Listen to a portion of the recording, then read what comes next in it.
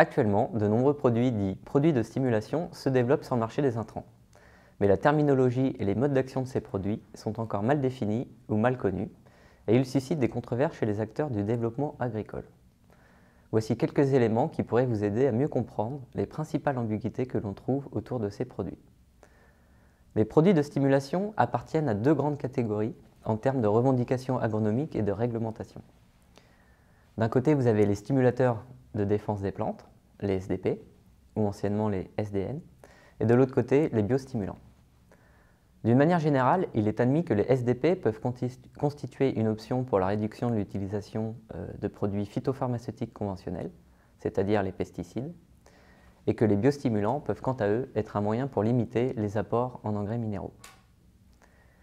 Les définitions récentes proposées par les réseaux nationaux travaillant sur ces produits sont les suivantes. Un SDP est défini comme toute substance ou tout micro-organisme non pathogène capable de promouvoir un état de résistance de la plante face à un stress biotique, c'est-à-dire face aux maladies. Un biostimulant, quant à lui, est un produit qui contient une ou plusieurs substances ou micro-organismes dont la fonction est de stimuler les processus naturels pour améliorer l'absorption des nutriments, l'efficience des nutriments, la qualité des cultures et la tolérance au stress abiotique, c'est-à-dire les stress environnementaux. Et cela indépendamment du contenu en nutriments du biostimulant car de manière générale, la matière biostimulante est couplée à un engrais classique. Donc SDP, biostimulant, deux revendications agronomiques différentes, donc deux types de réglementation. Un SDP doit avoir une autorisation de mise sur le marché en tant que produit phytopharmaceutique, comme un pesticide conventionnel, et par conséquent, il est soumis à un usage restrictif.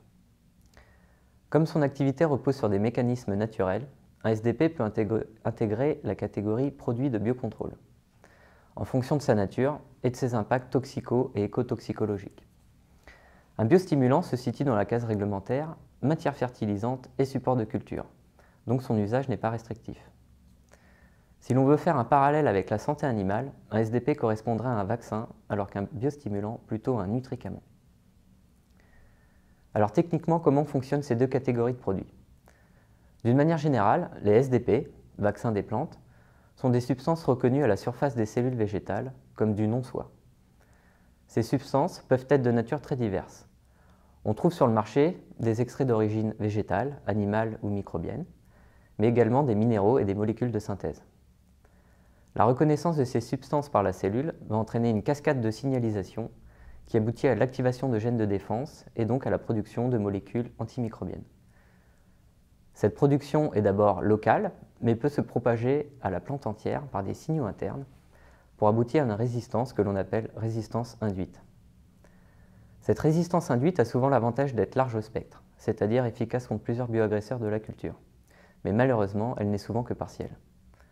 L'état physiologique de la plante au moment du traitement constitue probablement un facteur déterminant pour l'efficacité des produits.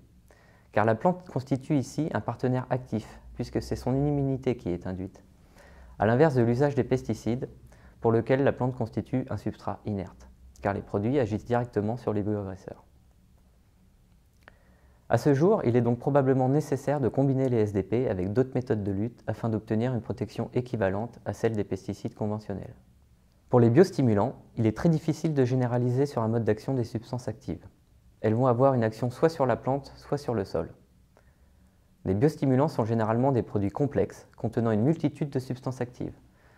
L'effet observé sur la plante sera donc le résultat d'un ensemble d'actions réalisées par un ensemble de substances actives qu'il est difficile de décrire séparément. Néanmoins, il est possible de présenter le mode d'action global de chacun des principaux types de biostimulants. Vous avez par exemple les produits contenant des extraits d'algues qui vont apporter des hormones végétales à la plante traitée, ce qui va améliorer sa croissance et son développement. Ceux contenant des micro-organismes du sol vont améliorer l'assimilation des nutriments par des mécanismes de symbiose par exemple. Les biostimulants à base de substances humiques, qui sont le composant majeur de la matière organique des sols, vont agir directement sur les voies métaboliques de la plante, tout comme les hydrolysats protéiques. Tous ces apports vont permettre d'améliorer l'assimilation des nutriments, la croissance et la photosynthèse, le rendement, les activités antioxydantes et la tolérance au stress abiotique. Il faut savoir que l'efficacité des SDP et des biostimulants peut être très variable au champ par rapport à celle observée en milieu contrôlé. Divers facteurs sont à l'origine de cette variabilité, comme la culture et la variété ciblée, le stade de développement de la plante, ainsi que les modalités d'application, c'est-à-dire la dose perçue par la plante, la fréquence d'application des produits, ou encore la qualité de l'application. Il y a également les conditions environnementales et la pression des maladies qui peuvent influencer l'efficacité des produits, surtout pour les SDP.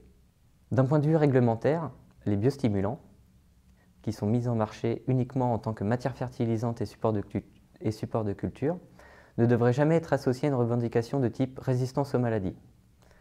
Tandis que les SDP, mis en marché suivant la réglementation produits phytopharmaceutiques, ne peuvent pas faire des revendications de type stimulation de croissance.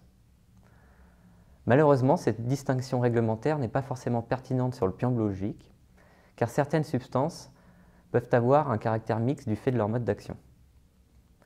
Les produits contenant ces substances actives pourraient donc revendiquer à la fois une résistance à un stress biotique et une stimulation de la croissance racinaire, par exemple. En ce qui concerne l'usage des produits de stimulation en milieu urbain, il est utile de savoir que depuis 2017, la loi Labbé et la loi Potier interdisent aux personnes d'utiliser des produits phytosanitaires pour l'entretien des espaces verts, des forêts, des promenades ou encore des voiries ouvertes au public, à l'exception des produits de biocontrôle ou ceux autorisés en agriculture biologique. Donc cela peut inclure certains euh, SDP. Pour les biostimulants, il n'y a pas d'usage restrictif. D'une manière générale, je pense que le grand défi de demain pour l'utilisation des produits de stimulation, que ce soit en agriculture rurale ou urbaine, c'est de trouver le bon mode d'emploi pour optimiser leur efficacité. À l'heure actuelle, leur usage nécessite un suivi des cultures plus minutieux que les méthodes conventionnelles, avec généralement des effets encore trop controversés pour les acteurs du monde agricole.